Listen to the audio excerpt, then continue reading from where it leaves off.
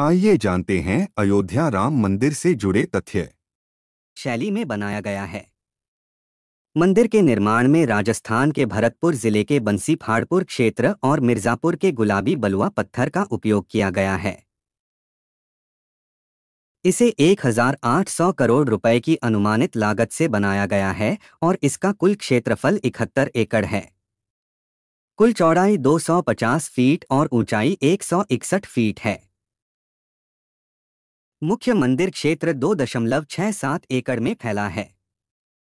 मंदिर में 390 स्तंभ, छियालीस द्वार और पाँच मंडप हैं।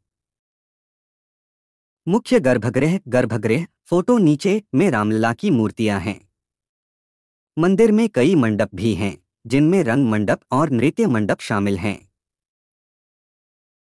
भक्त सिंह द्वार से प्रवेश करने से पहले ज़मीन से सोलह दशमलव एक एक फीट की ऊंचाई तय करके बत्तीस सीढ़ियाँ चढ़ने के बाद मंदिर में प्रवेश करेंगे।